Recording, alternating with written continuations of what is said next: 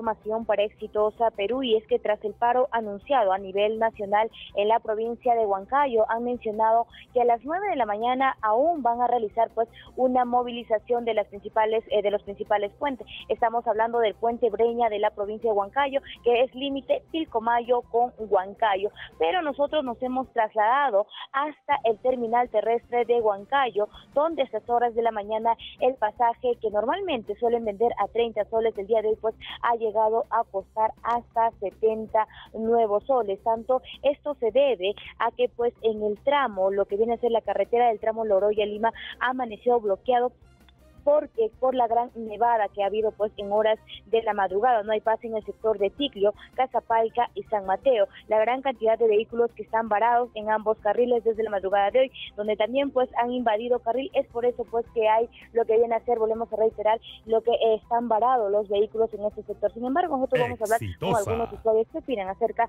de los pasajes que están costando a 70 nuevos soles. Señor, buenos días, estamos en vivo para Exitosa Perú, por favor coméntenos. El pasaje está llegando a costar hasta 70 soles.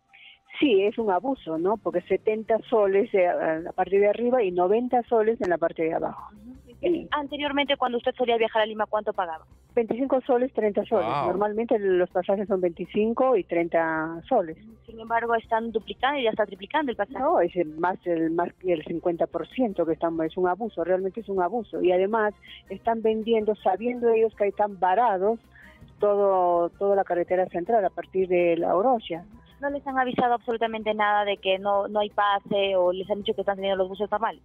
No, no nos han comunicado nada. Eh, solamente hay un el Dorado que dijo que están varados ahí, que todavía el pasaje es muy probable que venden a mediodía. Pero sin embargo, le están vendiendo a otras empresas. Las otras empresas como Nacional, ¿no? Está vendiendo a 70 y a 90 y mucha gente no tiene la solvencia económica para cubrir ese, ese gasto. bien, muchas gracias. Entonces, pues es lo que mencionan los amigos. Vamos a continuar conversando con las personas que están por acá. Señor, señor buenos días. Estamos en vivo para Citas a Perú. Por favor, coméntenos. Usted viene eh, comprando también su pasaje. ¿Cuánto le están queriendo vender? Ya me vendieron 70 soles. 70 soles ha tenido que pagar. Pero es normal, el precio antes cuánto pagaba. No. ¿Le han avisado que están haciendo el pase normal? 25, nos dijeron que sí. ¿A qué hora sale el vehículo? A las 8.59.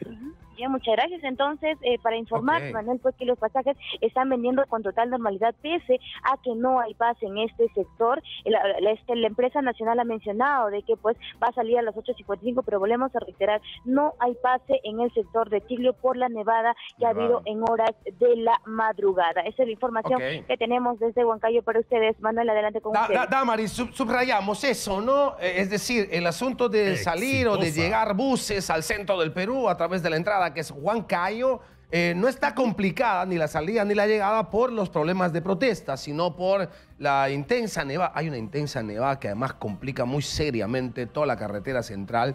Eh, se convierte en un lodazal increíble, los vehículos tienen que bajar velocidad, y hay unas colas a veces enormes y gigantescas porque tienen que ir máximo a 25, 30 kilómetros por hora porque la verdad es que los vehículos, por más grandes que sean, patinan.